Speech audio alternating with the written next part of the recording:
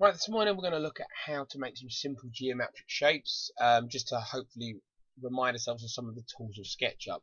Um, I'm just going to show you some of the basics and then you're going to have a go in the lesson. So first things first, we're going to try making a cube. We start by using uh, or draw using the rectangles in order to draw a square. And as we draw one out, that's a rectangle. If you move down and the dotted line appears, that is a square.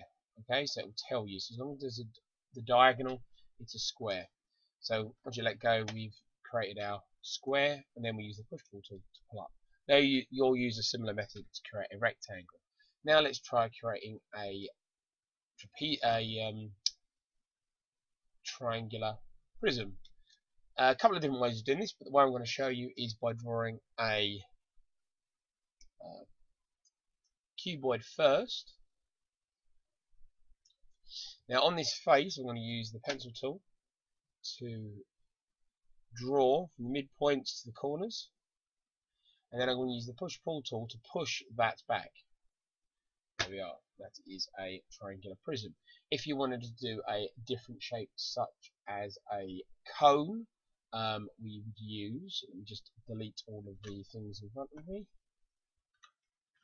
Uh, if you want to do, for example, a cone, um, we will use the circle tool draw a circle.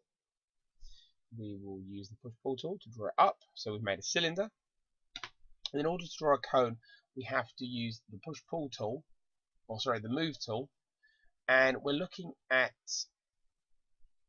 the edge. And as we go around, there's a point which is blue. blue.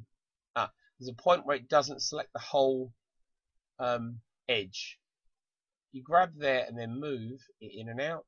You can make a cone to a point. So as you were doing it I'll just show that again. You don't want it to be blue so you have to go around the edge very carefully. The moment it stops highlighting the whole edge.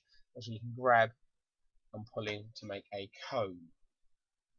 Um, one more thing we can try square base pyramid. Again I'm going to just select everything to delete that. Uh, square base pyramid we're going to start with a square of course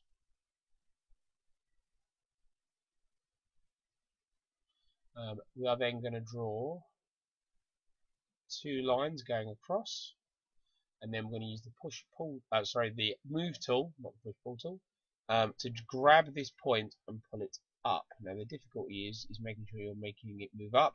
See it's got the blue on axis line that means we are going up.